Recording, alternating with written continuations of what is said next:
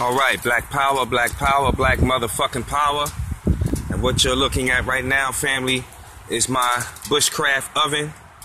So I'm about to bake this turkey up for today's dinner. Last me for a couple days out here. And basically what I've done, I stuffed it with potatoes and carrots, curry seasoning, some Japanese seasonings and all that good shit. Wrapped it up in the foil, stuck it in the tin uh, can here. And now I'm gonna lace the top of it as such with foil. Show you how to do this here. Cover that part up with the foil. And then stick it right in the fire pit, right on top of the pit, and just let it do its thing.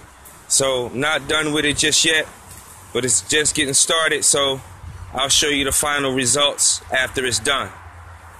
Don't forget, Bushcraft Survival Oven, Black Power.